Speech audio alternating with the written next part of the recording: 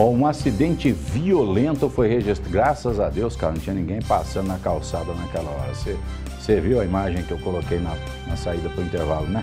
Olha só o tamanho da porrada. Você imagina se esse moço aí, ó, tivesse lá naquele canto. Deus me livre guarde. Olha lá, olha o muro, que, que fez? Simplesmente veio para cima, né? Veio para cima do veículo, né?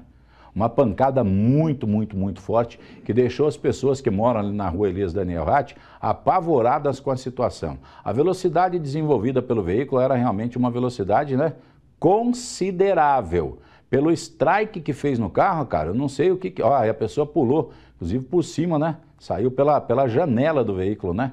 Já abrindo a porta de trás ali para poder verificar o que, que tinha acontecido o que, que não tinha. Os homens do Corpo de Bombeiros foram acionados para irem até o local para poder dar atendimento às vítimas que, que foram registradas nesta pancada. Esta colisão aí aconteceu bem na hora daquele confronto que nós mostramos agora há pouco com os policiais militares, também na zona norte da cidade, né? E aí o Corpo de Bombeiros foi dar atendimento a essa paulada. Olha o carro como é que ficou moeu a frente do veículo, né? Essa imagem é emblemática, né, cara? É uma imagem realmente diferenciada que a gente observa numa pancada muito forte registrada naquele local.